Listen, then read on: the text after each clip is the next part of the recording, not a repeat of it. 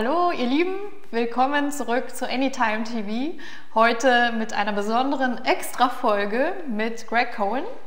Ähm, heute reden wir über die Natur und ja, wir hatten letztens eine schöne Folge mit Anna Wasilewski und heute dachte ich, bleiben wir bei dem Thema und zwar übertragen wir es mal auf die Musik. Und ähm, ja, wo ist, denn, wo ist denn mein Gesprächspartner? Hey Greg, where are you? Bing! Time to wake up, Greg! What?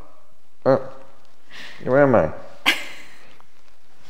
Anny, are you here? Yes, I'm here, just Where- right behind oh, you. Oh, Yeah, how long was I asleep for? I don't know. Oh, I'm so sorry. I was I didn't sleep so well last night. So, but I'm so happy you Oh, still. you know, okay. I had this dream. I'm sorry. I'm sorry, people. I, I was just really tired there. Um, okay, I had this- stylist. thank you. Um, I had this dream about nature. Oh, I just was dreaming about, you know, the relationship between nature and music. It was the mm. most incredible dream. It was so vivid, it was so real. It was like everything was happening in real time, everything was happening in Technicolor, and everything was believable. and Dolby Surround. And then I heard, bing, Greg, it's time to wake up. I mean, Anny, Good morning! you Oh, know, I'm just too excited to be here with you again. It was great you woke me up, but I really am curious where that dream would have gone had I just kept sleeping. yes. So, um, So, did you get any results? um, Or is, was it an epiphany at all? it was a bit of an epiphany, yeah. One of the things, well, you know, ladies and gentlemen, I want to first say that it's a great honor and privilege for me to be here taking part in AnnyTime TV with my lovely, talented, and wonderful friend Anny, who, besides being one of the great pianists of the world, is a really great talk show host and um, general um, master of ceremonies with everything she does and presents. So that's another one of your many talents. I'm, I'm grateful to be on the receiving end of that. Um, but uh, we were talking about something else. Somehow I got sidetracked. That happens with me. If you know me, that uh, I'm sort of like random access generator. The it, we're here in this city of Berlin right now, and Berlin is a snowy day in Berlin. So Yes. as I was coming over here, I was you thinking about this, you know, sound, nature. What is nature? Nature is weather. Nature is things coming from the sky, things coming from the water, things living on the earth, in the mountains, in the valleys, in the gulches, in the murky swamps, you name it. All of it is nature.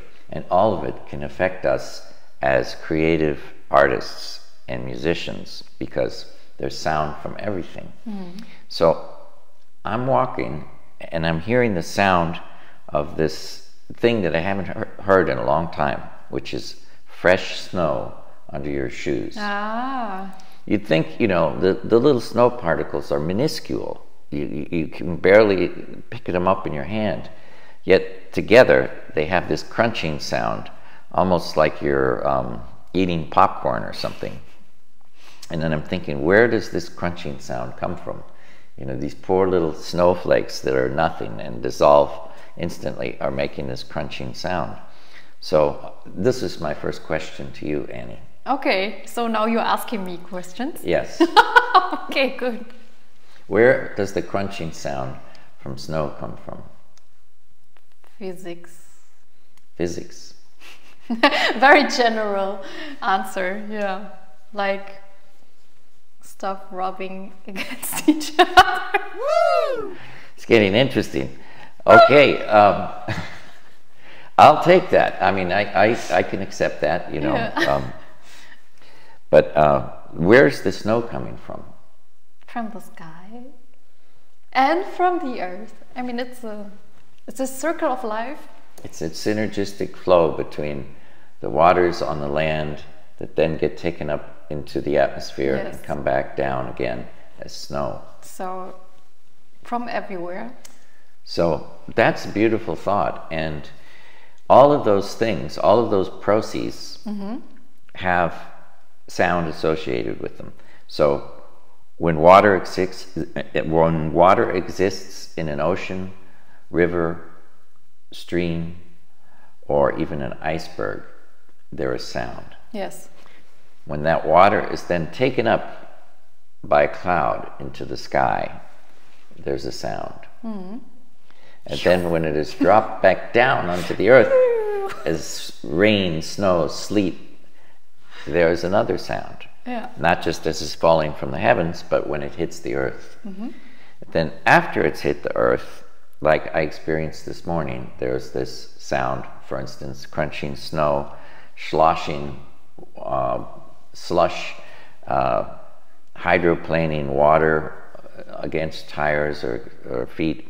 So, yeah, this this inescapable association between the forces of nature, not just what we see as uh, static nature, and sound, which leads us to a big topic, Yes. which is what's the difference between sound and music? Some people might consider all sound music, you know, um, and I might be one of those people, and I'll tell you why. Because there, according to the definition of music, if we were to look it up in a, in a encyclopedia or a dictionary, you might not get this part of that included. The, the sound of birds, the calls of birds, the calls of whales, the calls of things that we can't even hear, supersonic sounds, are really quite musical and perhaps influential just as much as any previous uh, composers from another time on certain uh, influential people in the world of music. Olivier Messiaen's Catalog of Birds, uh, Alexander Hovhaness's And God Created Great Whales. There's a whole litany of people who have drawn from nature to create sounds for the symphony hall. Um, and I'm one of these people who happen to believe that all sounds can be used and seen as musical sounds. It's what we accept in our awareness as music or not. It's the same reason why a lot of people might go to hear a concert of Arnold Schoenberg and they won't consider it music because they're not familiar with those sounds in that order, those pitches collected like this, and the Yeah. orchestration being sort of uh, fractionalized. But it's still music, it's still an assemblage of sound in a new way, as would be the case for a jazz concert of, of dare I say, modern jazz Yeah. where people aren't used to hearing it, they'll just say, "Oh, I don't know what that is, but I don't like it." You know, so somehow their awareness just rejects it right away.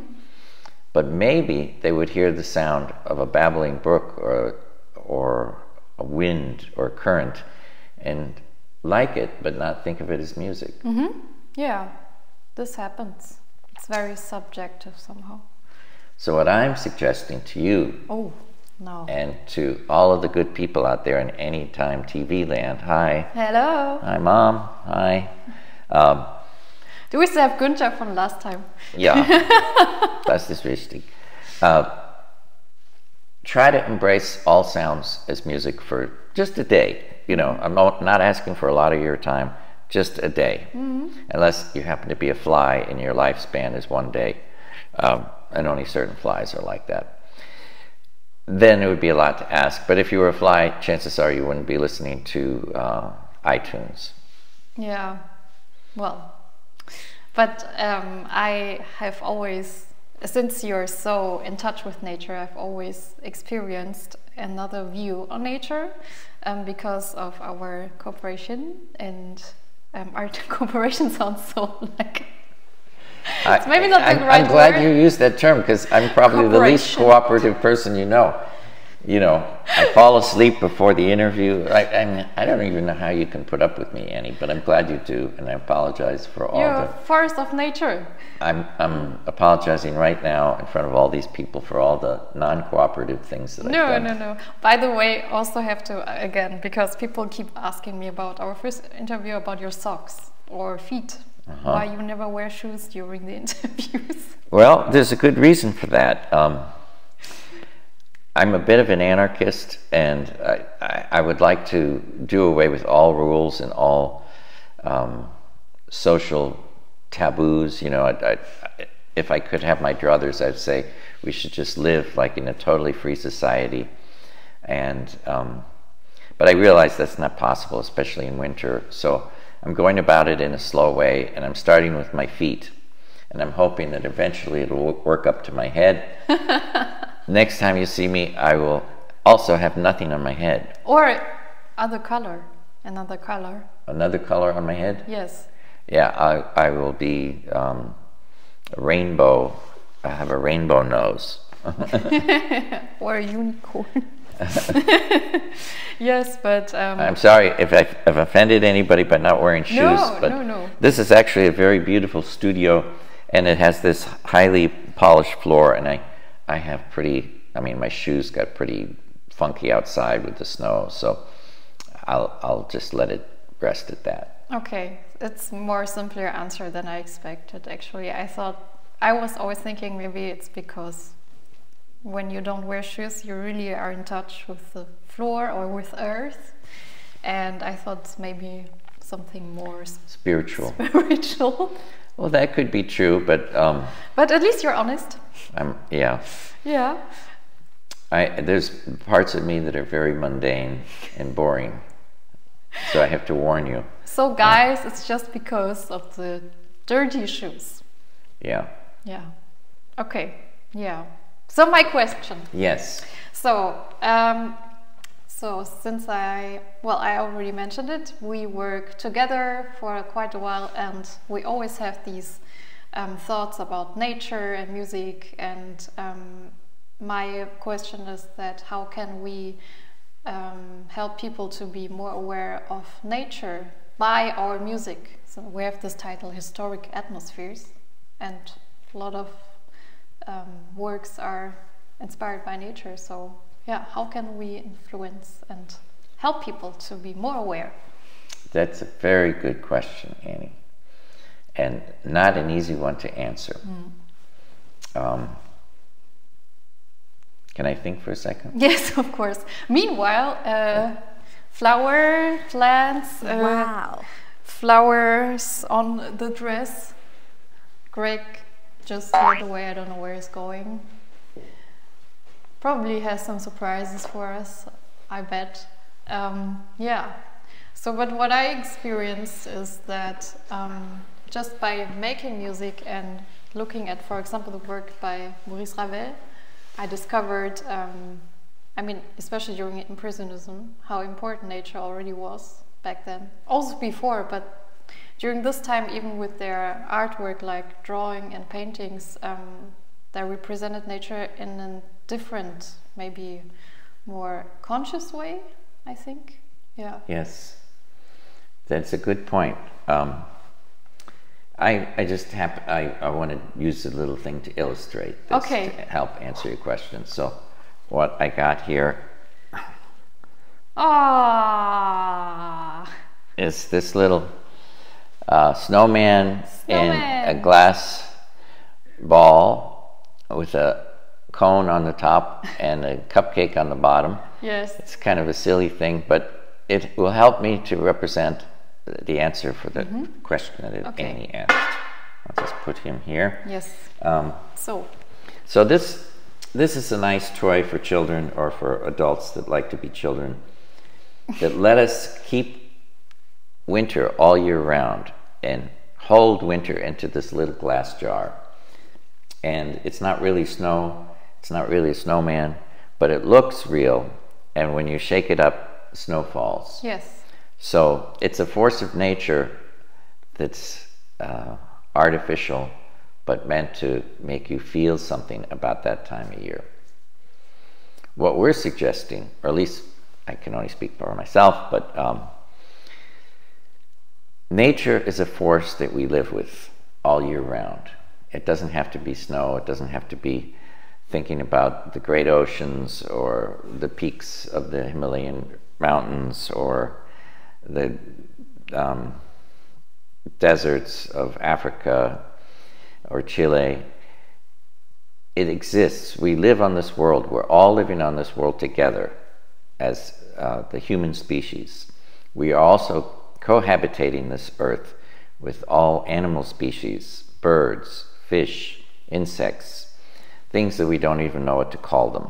I mean, we are a part of many tiered system on the planet Earth. So, as humans, we are supposed to be the only uh, animal species that has been given the bing gift of reason, which then would allow us to filter down and become uh, thinking creatures that create things like music. I uh, wonder, you know, like if we didn't have to worry so much about being given this gift of reason and the ability to think and figure things out, maybe music would just come to us like the birds or the whales or the wind or the sea. And we, we would just accept it as sounds that are beautiful and that by being sounds, they're music.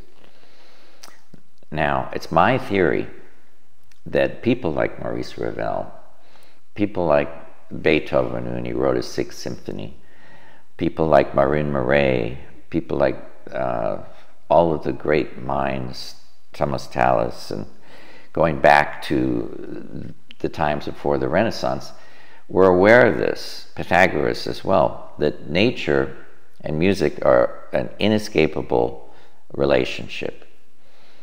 You can choose to say, Oh, I'm going to write a piece about the sea, La Mer.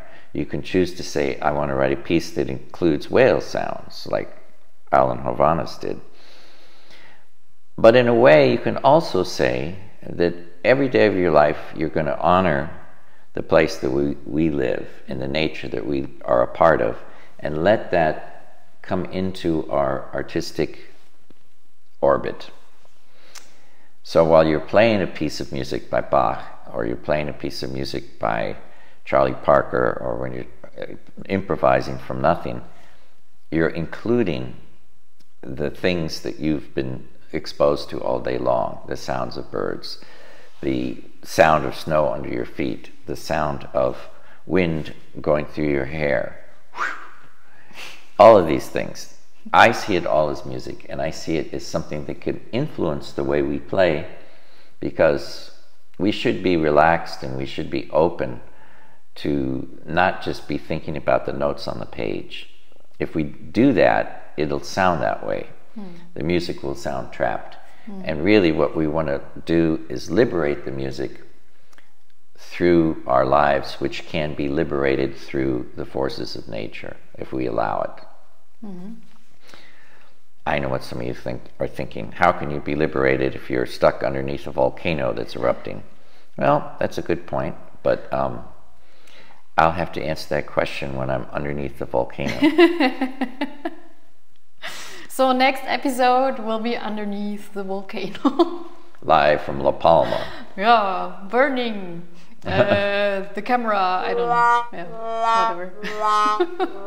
I would be ready to do that. I mean, I'm a little most concerned with uh, poison gas. Oh, yeah, yeah. You know, if if we could just figure out a way around the poison mm -hmm. gas, I would be there in a heartbeat. Okay, cool. You know, we could play the fire dance. Yes. yeah. And, and can I ask you a question? Yes, Anny? please. Okay. So you're you're more of a classical pianist, what they call a classical pianist. Yes. Maybe a better term is a concert pianist, somebody who works to develop a repertoire of the great concertos and pieces featuring piano that have been written over a period of 600 years, perfecting them and sharing them with the world, which I think is such an honorable and important cause. So first of all. Oh, thank you. My hat's off to you, and I, I appreciate so much what you do and how you do it.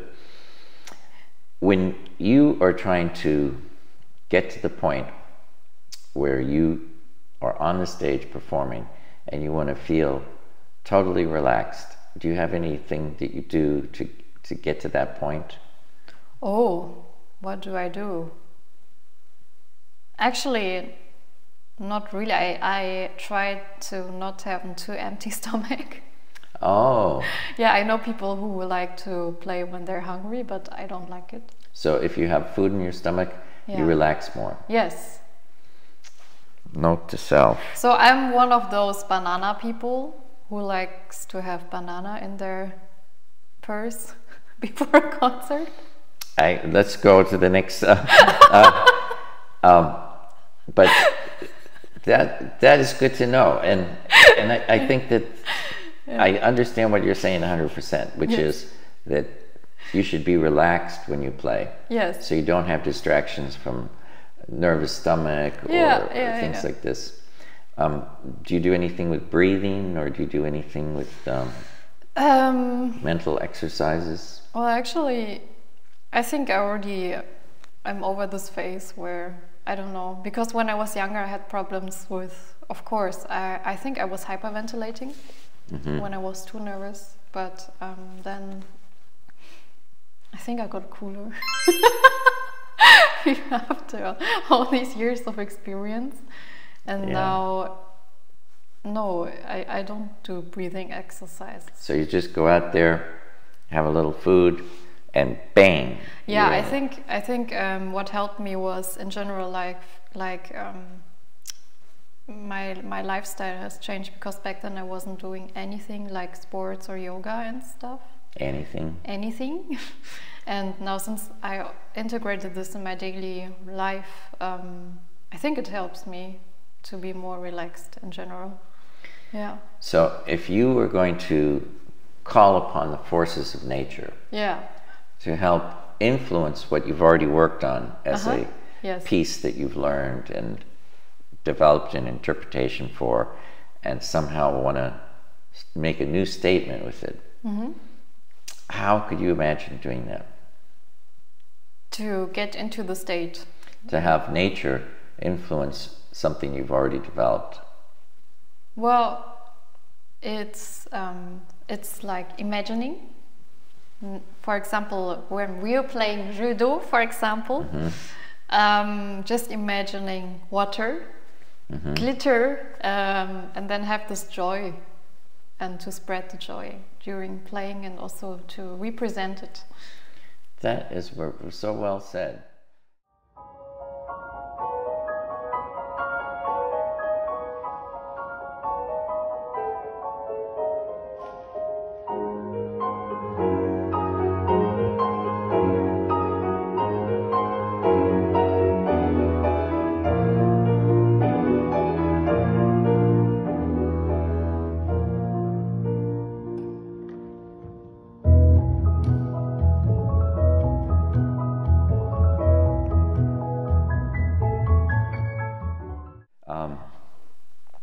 So visualization and to create a mood inside of yourself. Yes.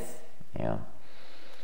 I guess I would have to say I do something similar. Mm-hmm. Um, since I don't have as many notes to read as you, I I think I have more freedom to imagine things. You know. Mm-hmm.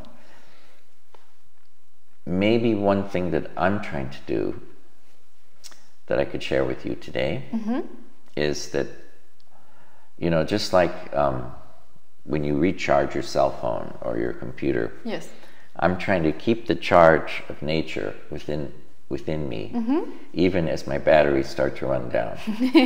so I, I might not have been out in nature, you know, for five hours or maybe two days. You, sometimes you're on the road, you're in going from airport to train to van to stupid hotels and things like this and you don't really get a chance to say oh look how beautiful you know look at this uh, beautiful beetle or how nice this stream is. Yeah. You just don't have that around you you know to be honest. You're looking at a bunch of ugly things and maybe tired and hungry and but i think it's possible to keep this energy and the spirit and this um, how can i put it it's kind of like what reptiles do you know ever see like iguanas sitting out on a rock they're absorbing the power of the sun Ah, yeah, yeah. that will keep them warm throughout the day, even when they go underwater. So I've been trying to get Do more that? into this state. Yeah, you can often see me just sitting out on a rock over at the Schlachtensee, and uh, it's kind of interesting. You know, people talk, and sometimes, you know, there's been some videos posted of me. It's kind of embarrassing, but nevertheless, I, I am trying to do that to store the power of uh, what the beauty and the wisdom of our planet have to offer. Because for me, it's one of the most important things in my life. Most important is human relationships, to, to just be with people and to have this wonderful sociology in music, friendships, and learning from other people. But after that, I would say to uh, embrace the beauty of our planet Earth. And it's much more beautiful, in my opinion, than we are as humans. We, as humans, have done a lot of things to damage our planet. Some not on purpose, you know, it could be because of um, a tidal wave, or it could be because of some kind of force of nature that we've gotten in the way of somehow just from being here. But some things we have done intentionally, and uh, I hope we can learn from our mistakes so that our planet stays beautiful and healthy for a long time, so that other generations of people who want to create art, either music or some kind of kinetic art, and be influenced by the beauty of our planet will have that opportunity as well. That's beautiful. Really? Yeah. Oh. really? Okay. Okay, I can erase it now. wow, it's a lot to write Okay, on my well, arm. cut. we got the take. no, really beautifully said. Yeah. Thank you, Anny. Well, It was because of the socks. yeah, it's because of the socks and you feel comfy and you Yeah. recharged at the Schlachtensee. Yes, I, Yeah. I try to do that daily. Yes. Okay. okay, great. Well, actually, um, time is up. Time's up. Unfortunately. That's the way it is here at AnnyTime TV. Just when you start getting warmed up, she gives you the cane. You're out of here. Next, we're going to have uh, female wrestlers from Bulgaria. Yes, yes, yes. I'd like to stay for that. If I Okay, could, of could I just be a fly on the wall? Yeah, of course. Yeah, Thank you. yeah. What are you going to talk to them about? All nature Nature. Oh, that should be good. and music. How about ballet? Yeah, I'm I'm down for that. yeah. Okay. Anny, I want to thank you so much for asking me to be a guest on this wonderful show, AnnyTime TV. I just, you know, I know it might be improper to do this now on, on television and everything, but Oh my God, what is coming?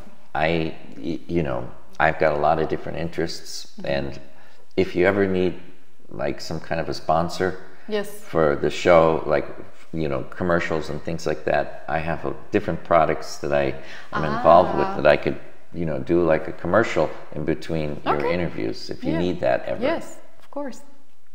You So- think that's possible? Yes, it's possible. Please. Oh, good. Yeah. Okay, so next time I'll also bring things to sell. Okay. Ah, I thought you you wanted to start already now, like immediately. Yes, I, I've got this really cool microphone I could sell. Is It's anybody mine. interested? Oh, that's yours? Oh, darn.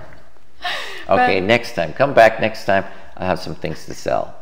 I promise. No, but actually, uh, please um, follow Greg on Instagram as well. He has this secret account um, because he also, how do you call him? You're a mineral specialist or what's yeah, that sounds good. I, I would, Doctor, mineral doctor. let's just say uh, mineral enthusiast. Mm. And um, yeah, so I've been studying mineralogy and um, enjoying that part of nature, the beauty of, of geology and all the things that go into the formation of these beautiful crystals and geological and mineralogical anomalies. So I invite you to um, check out that, you know, at berlin.rocks. Uh, and we have some very interesting things on there. But we also um, hope to expand and do some fairs and shows where we can share these beautiful minerals with you, the good public out there in AnnyTime TV land. Yes, and yeah, thank you so much. I thank you, Anny. Always nice work. to see you and to hear you. and uh, as much as I like talking to you here on TV, I can't wait until we get a chance to play again. Yes. Because that is something special. Oh, yeah, I love really always you pushing me to do new stuff. Speaking of new stuff, you, yes. you're working on a concerto now, right? Yes, I am. Which concerto? Edvard Grieg. Grieg. Yes. Oh. It's, um, you know, my name is very close to Grieg. It's true. Actually, uh, what was that? Yeah, we, once we played, or not only once, but last time when we played with my flute player, mm -hmm. Gregori. Mm -hmm. Then we had Greg, Grieg, and other people, like the public asked me, why didn't you play Grieg? Well, maybe here's a big chance. Yes. And where where will you be performing the Grieg concerto? Um, in Saarbrücken. I in think. Saarbrücken. Like in the region, yeah. Okay, wow. Hometown region. That's something that you should all try to catch either live or on uh, some kind of broadcast system. Yeah, I hope it will be live. I hope, yeah. Well, thanks again, Anny. Yeah, thank Always you. nice to see you. Yes, and I love, yeah, talking to you and, yeah, making music, of course. So, actually, I was thinking well, if we could maybe spontaneously improvise something on the piano. Sure. Yeah? Yeah. Okay, let's try. So, I, I, I don't know what we're doing, but.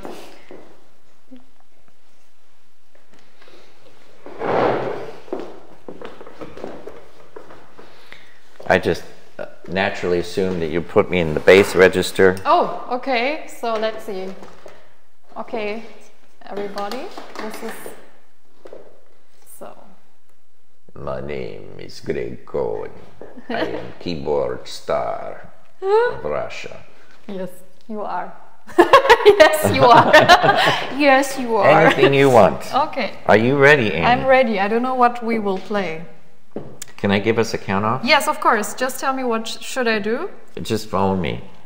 One, two.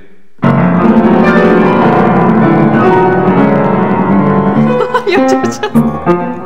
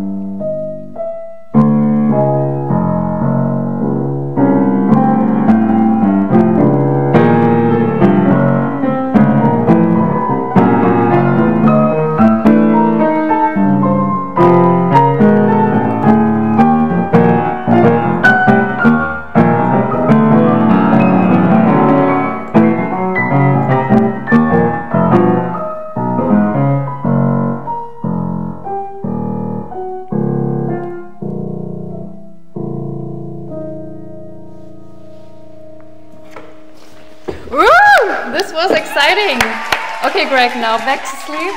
Um, yeah, interesting. And I don't know if you got it, but at the end we were quite together. So see you next time. bye, Greg. Say bye to the people. Oh, how long was it out? Oh, ah, there, there you are. Uh, AnnyTime TV, folks. Thank you very much. Uh, thank you for allowing me to be a guest today. Wonderful to be here.